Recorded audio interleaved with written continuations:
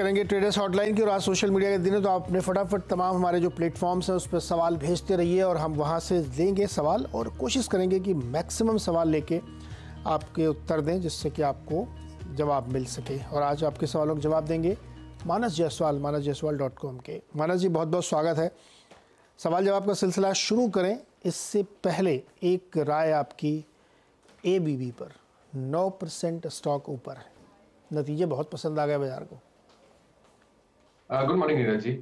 तो देखिए एबीपी की अगर बात करें तो बिल्कुल जब 4650 के ऊपर आज ओपनिंग हुई और वहाँ पर सस्टेन होने लगा, तब ऐसा लग रहा था कि शायद 48 हंड की तरफ़ जाने की कोशिश करेगा। लेकिन ये तो 48 हंड के भी काफ़ी ऊपर निकल आया है। लेकिन इस इस ब्रेकआउट का आप इग्नोर नहीं कर सकते। इस ब्रेकआउट पे वॉल्यूम देखने को मिल रहे हैं। आई थिंक इस बार ये 4950 के लेवल्स को ब्रीच करके 5100 की तरफ़ जाने की कोशिश करेगा। तो मेरे ख्याल से तो यहाँ पर भी खरीदारी करने के मौके हैं। अभी भी आप खरीदारी कर सकते हैं कोई डिप मिले तो भी खरीदारी करिए। 4750 के नीचे अब आपको पोजिशनल बेसिस पे स्टॉप लॉस लगाना है और इक्यावन सौ पचास फिफ्टी वन फिफ्टी के टारगेट सेट करने हैं एबीबी में। ओके okay, ये रही एबीबी पर आए और फटाफट मुझे बैंक निफ्टी और निफ्टी पर आए। कौन सा ज़्यादा अच्छा ट्रेड बन सकता है यहाँ पे? देखिए दोनों इंडाइसेस तो बिल्कुल अच्छे लगते हैं। हालाँकि बैंक निफ्टी पे अब एक रेजिस्टेंस ज़रूर 47,300 पे है। वहाँ पर प्रॉफिट बुकिंग भी देखने को मिली है।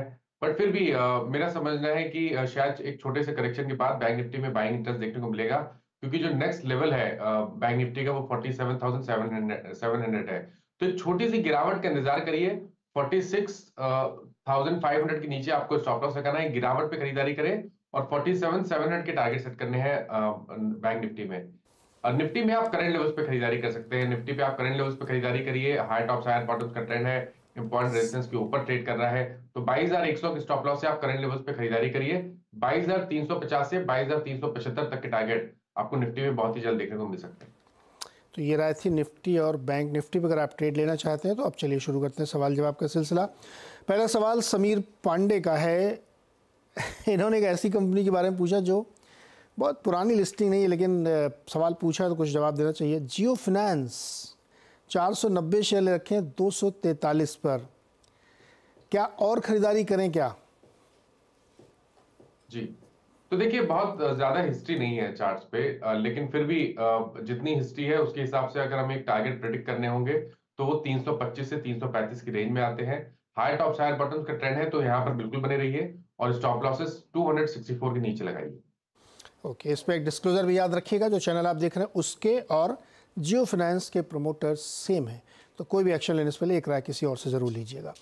पंकज जोशी जी का अगला सवाल है इन्होंने 200 शेयर खरीदे हैं इन्फो एच के नौकरी डॉट कॉम के इकतालीस सौ उनतालीस रुपये पर। क्या ये बेच दें? इनका पहला सवाल ये है या फिर ये छः महीने के लिए रखें और ज़्यादा ऊपर जा सकता है? देखिए मेरी राय तो ये रहेगी कि इसको छह महीने तक रखना चाहिए क्योंकि आ, मेरे ख्याल से अभी कुछ करीब सात आठ हफ़्ते पहले हमने पाँच हज़ार का एक बहुत ही अहम आंकड़ा स्टॉक को ब्रीच करते हुए देखा था। उसके बाद भी स्टॉक में कहीं पर रिवर्सल के साइन नहीं है वीकनेस नहीं है हाई टॉप हायर बॉटम्स का ट्रेंड है। जो नया टारगेट होगा वो छह हज़ार के आसपास का होगा। तो यहाँ पर बिल्कुल बने रहिए स्टॉप लॉस आपके फोर्टी नाइन फिफ्टी के नीचे आपको लगाने हैं। ओके okay, तो रखना चाहिए इन्फो एच को। अभिषेक अग्रवाल के दो सवाल हैं। मध्य प्रदेश के गुना से इन्होंने सवाल भेजा है। एक तो ये कह रहे हैं कि क्या वोडा आइडिया में करंट लेवल पे खरीदें दो तीन साल के लिए? और दूसरा डिश टीवी भी इन्होंने ले रखा है आठ सौ साठ शेयर उन्नीस रुपये सत्तर पैसे पर। अगर आप ट्रैक करते हो तो। वोडा आइडिया में पहले बताइए क्या करना चाहिए? तो देखिए वोडा आइडिया की बात करिए तो वोडा आइडिया पे अब एक रेजिस्टेंस है। सोलह रुपए पचास पैसे से लेकर अठारह रुपए की रेंज में। आ, मेरे ख्याल से अगर आपके पास लॉन्ग पोजीशन है तो इस रेजिस्टेंस को ध्यान रखिए। लेकिन अगर अठारह रुपए के ऊपर निकलेगा तो आपको पच्चीस रुपए तक के टारगेट देखने को मिलेंगे। अब बहुत ज़रूरी है कि आपको एक स्टॉप लॉस लगाना है। हंड्रेड डे मूविंग एवरेज एक स्ट्रॉन्ग सपोर्ट है। उसके नीचे जाएगा तो फिर से वीकनेस बढ़ेगी। तो तेरह रुपए पचास पैसे के स्टॉप लॉस से बने रहिए। नए टारगेट पच्चीस रुपए के आसपास के रहेंगे। दूसरा, आपने स्टॉक डिस टीवी का पूछा। डिस टीवी पे मेरी राय ये रहेगी कि यहाँ पर बने रहिए। यहाँ पर ब्रेकआउट अभी कुछ दिन पहले देखने को मिला है। तेईस, चौबीस रुपए के ऊपर निकला है। उसके ऊपर स्टॉक सस्टेन कर रहा है। तो स्टॉप लॉस एक स्टिक स्टॉप लॉस बाईस रुपए के नीचे लगा के रखिए। ऊपर की तरफ़ ट्वेंटी नाइन फिफ्टी तक के टारगेट पॉसिबल है। ओके वरुण शुक्ला का सवाल लेते हैं और ये जानना चाहते हैं ड्रीम फोक्स के बीस शेयर इन्होंने ले रखे चार सौ पचासी में। दो साल का नज़रिया रखना चाहते हैं ड्रीम फोक्स। देखिए ड्रीम फोक्स की जहाँ तक बात है यहाँ पर आ, मेरे ख्याल से तो निकलना बेहतर रहेगा क्योंकि लोअर टॉप लोअर बॉटम दिख रहे हैं चार्ट पे 200 मूविंग एवरेज के नीचे ट्रेड कर रहा है। अगर हम एक आखिरी होप की बात कर ले तो वो जो लेवल है वो है 480 का। चार सौ अस्सी रुपए के नीचे जाएगा तब तो आपको हंड्रेड परसेंट निकलना पड़ेगा क्योंकि उसके बाद आपको गिरावट बढ़ते हुए दिखेगी और 440 तक के भाव देखने को मिलेंगे। तो अगर आप बने रहना चाहते हैं तो स्टॉप लॉस ज़रूर लगाइए चार सौ अस्सी रुपए के नीचे। लेकिन मेरी राय यही रहेगी कि उससे पहले अगर कोई उछाल मिले तो निकलने की कोशिश करिए और फ्रेश खरीदारी पाँच सौ रुपए के ऊपर ही करें आप। 535 के ऊपर खरीदारी करिए 480 के स्टॉप लॉस लगाइए। कोई उछाल मिले तो निकलने की कोशिश करिए। तुलसी तुलसी का सवाल है, हिंदुस्तान जिंक के 1500 शेयर हैं इनके पास 315 के भाव पे। और ये एक साल से ज़्यादा होल्ड कर चुके हैं। क्या करना चाहिए इनको? देखिए कोई रीजन समझ में नहीं आता है चार्ट्स पे कि हिंदुस्तान जिंक को अपने पोर्टफोलियो में रखा जाए क्योंकि काफ़ी दिनों से हम कंसोलिडेशन देख रहे हैं। आ, काफ़ी लंबे समय से कंसोलिडेशन देख रहे हैं। ऊपर की तरफ़ 330 पर रेजिस्टेंस है नीचे की तरफ़ दो सौ नब्बे के आसपास सपोर्ट है। इसी रेंज में ट्रेड कर रहा है। मेरे ख्याल से अगर आपको मेटल क्षेत्र में ही निवेश करना है आने वाले छह से आठ महीने के लिए तो सबसे बढ़िया तो टाटा स्टील इस टाइम के लिए है क्योंकि टाटा स्टील में जो मीडियम टर्म चार्ट है, वहाँ पर हाई टॉप हायर बॉटम का ट्रेंड है। आप उम्मीद कर सकते हैं कि इस बार 150 को ब्रेक करके 175 तक जाने की कोशिश करेगा स्टॉक तो मेरी राय ये रहेगी कि हिंदुस्तान जिंक से निकलिए और टाटा स्टील में निवेश करिए। ओके अडानी पावर पे सवाल है प्रणव पंड्या का। Adani power 650 at 564 what to do साढ़े छः शेयर पाँच सौ चौंसठ पर। दो तीन साल के लिए होल्ड कर सकते हैं क्या अडानी पावर को? देखिए, अभी तक तो कोई दिक्कत नहीं दिख रही है, क्योंकि स्टॉक हालाँकि कंसोलिडेट हो रहा है काफ़ी समय से, दिसंबर से स्टॉक कंसोलिडेट हो रहा है, लेकिन जो इसका मेन ट्रेंड है medium to long term chart पे, वो काफ़ी पॉजिटिव लगता है। आई थिंक चांस लेना चाहिए 499 के स्टॉप लॉस से आप बने रहिए स्टॉक में। ये जब भी 575 के ऊपर का ब्रेकआउट देगा तो वो फ्लैग पैटर्न का ब्रेकआउट होगा, और उस केस में आपको सात सौ तक के भाव देखने को मिल सकते हैं। तो बने रहिए 499 के स्टॉप लॉस के साथ। चार सौ निन्यानवे के स्टॉप लॉस के साथ बनिए। सात सौ के लक्ष्य मिल सकते हैं इसमें। गिरिराज ने भारत इलेक्ट्रॉनिक्स के एक सौ सत्तानवे वाली कॉल ली है। तीन रुपये ग्यारह पैसे पर एक लॉट और भारतीय एयरटेल की ग्यारह सौ अस्सी वाली कॉल ली है। सात रुपये अड़तालीस पैसे पर एक लॉट क्या करना चाहिए? तो देखिए बीएल में कंसोलिडेशन दिख रहा है। एक रेजिस्टेंस है ऊपर की तरफ़ 192 के आसपास। वहाँ पर पिछले तीन दिन से अगर आप देखें तो वहाँ पर एक छोटी सी प्रॉफिट बुकिंग देखने को मिल रही है। लेकिन अगर हम ट्रेंड की बात करें तो ट्रेंड पॉजिटिव लगता है। इसलिए मेरी राय में 188 का लेवल ध्यान रखिए, जब तक उसके ऊपर ट्रेड करता रहे, अपनी कॉल की पोजीशन में बने रहिए। जब भी 192 ब्रीच करेगा तो 198 तक के भाव आपको देखने को मिल जाएँगे। भारतीय एयरटेल में भी ट्रेंड पॉजिटिव है। High top higher bottom 60 minute chart पे आपको देखने, दिखने लगे हैं। आई थिंक यहाँ पर आपको 1190 तक के भाव देखने को मिल सकते हैं। इस पोजीशन में भी बने रहिए और जब तक 1130 के ऊपर स्टॉक ट्रेड करता रहे, अपनी कॉल की पोजीशन में बने रह सकते हैं आप। ओके ये थी दोनों बराए और राहुल का एक सवाल लेते हैं इसमें इन्होंने रोटो पंप के बारे में पूछा एट्टी नाइन शेयर है, थ्री फिफ्टी वन पे। तो देखिए, ये स्टॉक करेक्ट हुआ है हाई लेवल से। मेरे ख्याल से 460 से स्टॉक करेक्ट होना शुरू हुआ है। 100 डे मूविंग एवरेज के आसपास ट्रेड कर रहा है। ध्यान रखिए, यहाँ पर मल्टीपल सपोर्ट्स हैं। 390 395 इस रेंज में एक मल्टीपल सपोर्ट्स है। 100 डे मूविंग एवरेज आता है। 20 वीक मूविंग एवरेज आता है। एक प्राइस सपोर्ट है। तो अपनी पोजीशन में आप बने रह सकते हैं, लेकिन स्टॉप लॉस आपको तीन रुपए के नीचे रखना पड़ेगा। अगर उसके नीचे जाए तो आपको अपनी लॉन्ग पोजीशन से निकलना पड़ेगा। लेकिन अगर ये फोर के ऊपर सस्टेन करने लगेगा तो शायद आपको 460 के लेवल्स भी देखने को मिलेंगे, और उसके उसमें शायद 460 को ब्रेक करके 490 की तरफ़ स्टॉक जा भी सकता है। ओके फोर नाइन्टी की तरफ़ भी जा सकता है। अच्छा गोल्ड लोन वाली कंपनियों पे एक सवाल आया है। अमित झा का इन्होंने बताया कि 250 शेयर इन्होंने मुथूत फिनेंस के लिए रखे हैं बारह सौ चौवन पे पे। साढ़े तीन साल से होल्ड करके बैठे हुए हैं मुथूत फिनेंस को बारह सौ चौवन पर। बहुत मुनाफा तो इनको नहीं हुआ है। जी। अभी क्या करना चाहिए इनको? देखिए अगर आप छह आठ महीने और होल्ड कर सकते हैं तो मेरे ख्याल से होल्ड करना चाहिए चांस लेना चाहिए क्योंकि स्टॉक करेक्ट हुआ है टू हंड्रेड एवरेज के आसपास आ रहा है। ये निकलने की जगह तो नहीं है। आई थिंक 1290 के स्टॉप लॉस से आप अपनी पोजीशन में बने रहिए। अगर आपको निकलना ही है प्रॉफिट बुक करना ही है तो यहाँ पर नहीं कोई उछाल मिले और 1425 1450 की रेंज देखने को मिले तो वहाँ पर आप प्रॉफिट बुक करिए और पंद्रह सौ रुपए के ऊपर आप फिर से लॉन्ग पोजीशन बनाइए क्योंकि उसके बाद आपको 1750 तक के भाव देखने को मिल सकते हैं। हम्म, प्रतिभा गुप्ता के पास दो शेयर हैं। एक स्पार्क जो सन फार्मा एडवांस रिसर्च के शेयर है नाइन्टी तीन सौ इक्यासी पर और जेंसार टेक्नोलॉजी के 592 पर। स्पार्क में बीच बीच में बड़ी खबरें आती थी, बहुत मोमेंटम होता लेकिन इनके प्राइस के आसपास क्या बीस रुपये का नुकसान है इनको? स्पार्क में कोई राय बनती है क्या चार्ट पे? देखिए नीरज जी, अभी मेरे ख्याल से लास्ट मंथ स्टॉक ने अपने 2022 के हाईस को ब्रीच किया है। उसके बाद उसके उसके ऊपर स्टॉक कंसोलिडेट हो रहा है। आई थिंक यहाँ पर आप बने रह सकते हैं। पाँच छह महीने के लिए अपनी पोजीशन को होल्ड करिए। तो शायद आपको 450 475 तक के भाव देखने को मिल सकते हैं। नीचे की तरफ़ अगर आप स्टॉप लॉस लगाना चाहते हैं तो तीन सौ बीस रुपए के नीचे आपको स्पार्क में स्टॉप लॉस लगाना पड़ेगा। संसार टेक की जहाँ तक बात है, देखिए, यहाँ पर भी स्टॉक में हल्की सी प्रॉफिट बुकिंग देखने को मिल रही है। इंपॉर्टेंट ये है कि अब ये स्टॉक 20 वीक मूविंग एवरेज के नीचे ट्रेड करने लगा है 100 वीक मूविंग एवरेज के नीचे ट्रेड करने लगा है। तो 100 डे मूविंग एवरेज के नीचे ट्रेड करने लगा है तो आपको एक स्ट्रिक्ट स्टॉप लॉस 515 का लगाना है। उसके नीचे जाएगा तो आपको अपनी लॉन्ग पोजीशन से निकलना पड़ेगा। और फ्रेश खरीदारी केवल पाँच रुपए के ऊपर करनी है। Okay. Maharaj ji GMR airport में लॉन्ग करने की अपॉर्चुनिटी क्या आज तीन साढ़े तीन परसेंट नीचे है।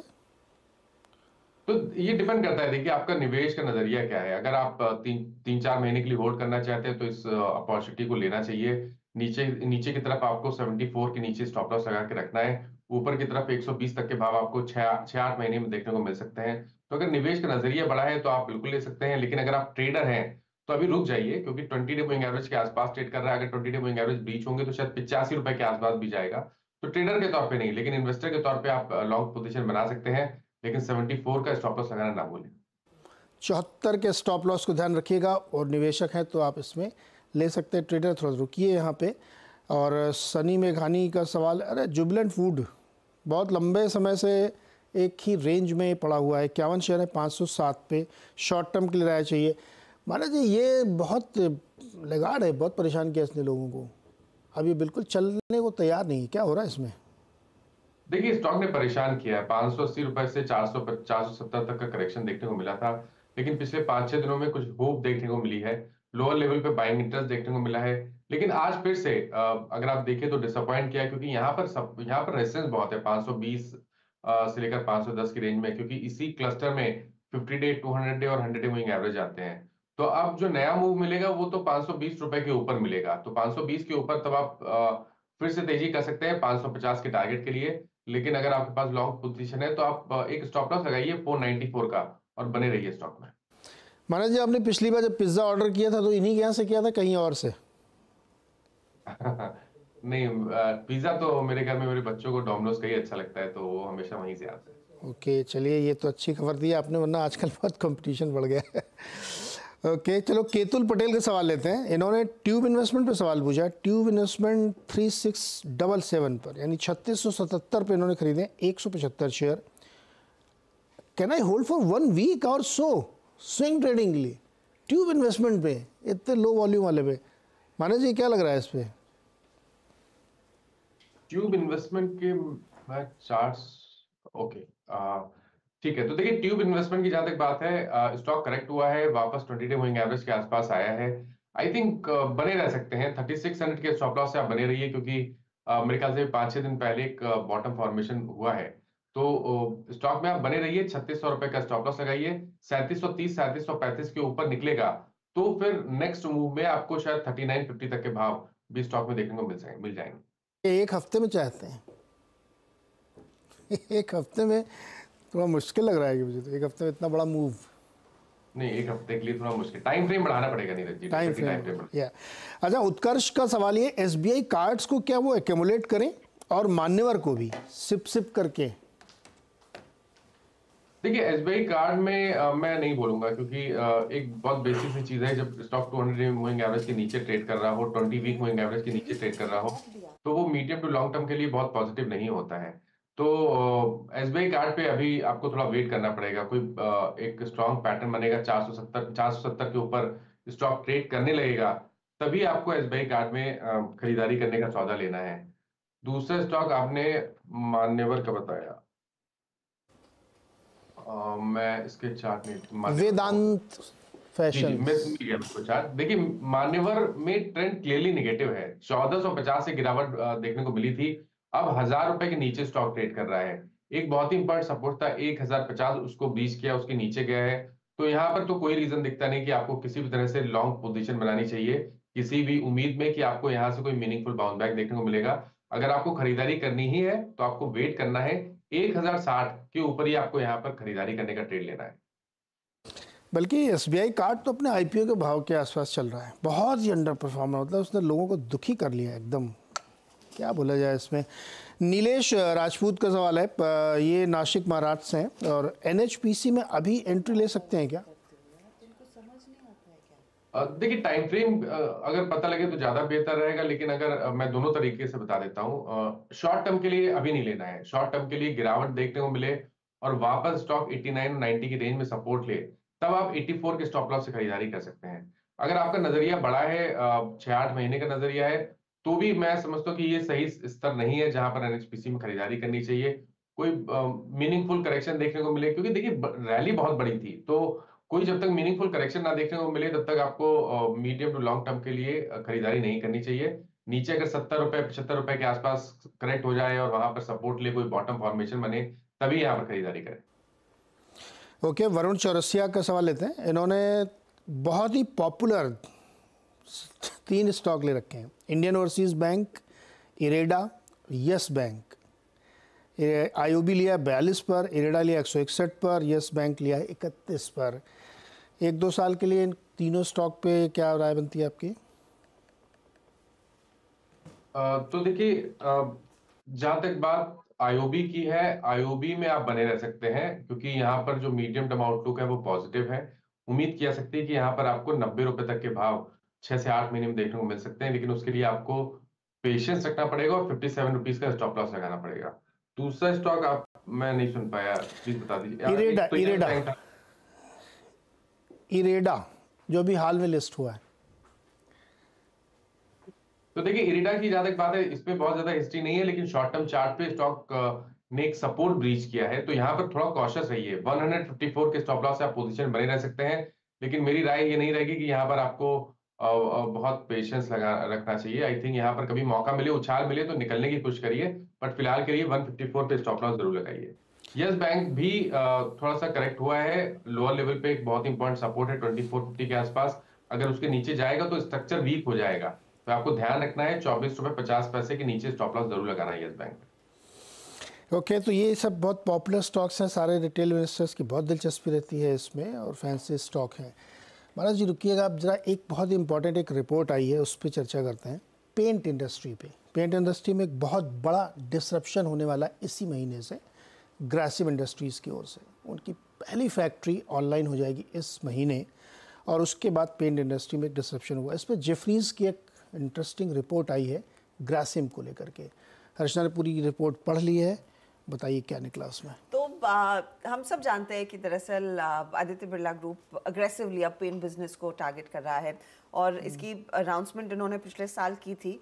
अब वो फैसिलिटीज़ ऑनलाइन आती हुई दिखाई देंगी या फिर कमीशन होती हुई दिखाई देंगी। माना यही जा रहा है कि इस महीने के अंत तक यानी कि इस हफ़्ते या फिर अगले हफ़्ते वो इनके एक प्लांट कमीशन होता हुआ दिखाई देगा और उससे फिर वो पूरी प्रक्रिया शुरू होती हुई दिखाई देगी। और इसी के मद्देनज़र फिर ग्रा, ग्रासिम पर वो रिपोर्ट आई है जेफरीज की। अगले 12 से 15 महीनों में तीन प्लांट्स शुरू होते हुए दिखाई देंगे। लार्जली कंपनी uh, ने 60 percent of plant capex invest कर दिया है। प्लांट कैपेक्स कितना था? करीब दस हज़ार करोड़ तक का वो इन्वेस्टमेंट कर रहे थे पेंट बिज़नेस में। उसमें से 60 परसेंट हो गया तो औसतन uh, छः हज़ार। करोड़ तक का इन्वेस्टमेंट आ चुका है। तीन प्लांट्स में लुधियाना पानीपत में दो प्लांट्स है, एक चैयार में प्लांट है। वो आई थिंक सेकेंड हाफ़ में आता हुआ दिखाई देगा। अब, और क्लियरली इस बिज़नेस के शुरू होने से फिर मार्केट में एंथुजियाज्म ये है कि कितनी बड़ी टक्कर largely Grasim as an entity बाकी लिस्टेड। प्लेयर्स को देता हुआ दिखाई देगा। इस रिपोर्ट में स्पेसिफिकली कहा गया है कि कंपनी बस यूँ ही नहीं उतर रही है। काफ़ी एम्बिशियस टारगेट्स हैं इनके। इनफैक्ट आपको अगर याद होगा, पिछले साल इनकी जब एजीएम हुई थी, तब कुमार मंगलम बिरला ने स्पेसिफिकली कहा था कि हम प्रॉफिटेबल नंबर टू बनना चाहते हैं पेंट बिज़नेस में, और ये हमारी next line of growth engine रहेगा। ये हमारा ग्रेसिम या फिर सीमेंट कारोबार के बाद अगला जो ग्रोथ का इंजन रहेगा, वो पेंट बिज़नेस रहेगा। इसीलिए उसको लेकर आई थिंक रिसेंट पास में स्टॉक में अच्छा खासा मूव देखने को मिला। आज करीब आधा परसेंट ऊपर है, लेकिन उत्साह ज़रूर है कि कितनी बड़ी फैसिलिटी होगी किस बिज़नेस में डेकोरेटिव में रहेंगे इंडस्ट्रियल में रहेंगे वो सारे डिटेल्स आगे आएँगे। स्टॉक में एक अच्छा रनअप देखने को मिला है। जेफरीज कह रहा है इसका इम्पैक्ट ग्रासिम पर आएगा लेकिन 2300 का टारगेट है। आई एम अज्यूमिंग कि जब वो प्लांट कमीशन होंगे और कुछ और डिटेल आएँगे तब शायद वो टारगेट्स बढ़ेंगे। ये हर्षदा इस रीसेंट पास में इंडस्ट्री का इससे बड़ा डिसरप्शन कभी नहीं हुआ नहीं। पूरी पेंट इंडस्ट्री का ग्रॉस ब्लॉक यानी कैपिटल एम्प्लॉयड बीस हज़ार करोड़ है। वन शॉट में फिफ्टी परसेंट दस हज़ार करोड़ का इन्वेस्टमेंट है। इतनी सारी फैक्ट्रीज आ रही हैं और ये कोट अनकोट खुन्नस में लिया गया फैसला है। क्योंकि जब पुट्टी बेच सकते हैं एशियन पेंट वाले हाँ। तो ग्रासिम पेंट क्यों नहीं बेच सकता. और इसमें जो एक और नया प्लेयर जे एस डब्ल्यू वो बहुत छोटा सा प्लेयर है। ये बहुत बड़ा प्लेयर है। तो एक युद्ध की जैसी स्थिति बन रही है। बहुत बड़ा इन्वेस्टमेंट है और 10-12 परसेंट से इंडस्ट्री ग्रो कर रही थी। एकदम शांत था कोई किसी को दिक्कत नहीं कोऑपरेटिव मूवमेंट था सब आराम से कमा रहे थे। काम कर रहे थे। बट बिरला साहब ने आके तूफ़ान मचा दिया है। उस समंदर में बड़ा बड़ा डिस्ट्रप्शन होगा और जी मुझे तो लग रहा है इसमें देखना होगा कि आप देखिए एशियन पेंट्स की स्ट्रेंथ ऑफ़ कोर्स उनका पूरा डिस्ट्रीब्यूशन बेस है। बट ग्रासिम का भी वो सीमेंट वाला ही डिस्ट्रीब्यूशन उनको अलग पैसे तो खर्च नहीं करने पड़ेंगे इस बिज़नेस में उतरने के लिए। वो बोलेंगे आपको चार बोरी सीमेंट चाहिए उसके साथ में एक डब्बा आपको पेंट का मिल जाएगा। आपको दूसरा प्लेयर पेंट में खास बात ये होती है कि एक छोटी सी मशीन लगानी पड़ती है जिसमें कलर मिक्स करके हाँ, बनाते हैं ठीक है? डाइस के लिए हाँ। तो जितना इनके पास नेटवर्क है तो कुछ लोगों ने कहा था कि हर दुकान वाला ये नहीं रखेगा बट जो सीमेंट बेच रहा है जो इनकी पुट्टी बेच रहा है वो रखेगा क्योंकि पुट्टी के नंबर वन प्लेयर है नंबर टू जेके सीमेंट है और ये उसी के थ्रू पुश करना चाहते हैं। अब इंटरेस्टिंग ये होगा कि क्या 10-12 परसेंट की ग्रोथ जो चल रही थी इंडस्ट्री की उसमें ये कितना हासिल करेंगे? यहाँ से चार पाँच साल बाद मुझे लगता है कि अभी साठ हज़ार करोड़ का रेवेन्यू है। एक लाख करोड़ हो जाएगा रेवेन्यू. एसेट भी वैसे बढ़ेंगे। तो एक्चुअली थोड़ी सी ग्रोथ स्लो इन होगी उसमें कौन कितनी अपनी हिस्सेदारी बना पाएगा ये सबसे इंटरेस्टिंग चीज़ देखने वाली होगी। मानव जी ग्रासिम अच्छा लगता है कि आपको, पेंट के इस ट्रिगर की वजह से? बिल्कुल, देखिए चार्ट्स पे तो ग्रासिम अच्छा लगता है, क्योंकि जिस तरह की रिकवरी पिछले दो तीन दिनों में देखने को मिली है और स्टॉक ने अपने प्रीवियस हाई को ब्रीच किया है, उसको देख के तो लग रहा है कि शायद आपको 2320 तक के भाव देखने को मिल सकते हैं। आज जो छोटी मोटी गिरावट देखने को मिली है, वो आई थिंक अपॉर्चुनिटी की तरह ही उसको देखना चाहिए। आप करंट लेवल्स पे एक लॉन्ग पोजीशन बना सकते हैं स्टॉप लॉसेस 2154 के नीचे लगाइए। ओके okay, तो ये राय थी ग्रासिम पे और बहुत सारी पे इंडस्ट्री पे और बहुत सारी डिटेल में चर्चा आगे हर्षदा भी आपके साथ करेंगे लेकिन फ़िलहाल इस शो में छोटा सा ब्रेक लेने का वक्त है लेकिन हर्षदा यहीं रहेंगी फिर इनके साथ देखिए आप खिलाड़ी नंबर वन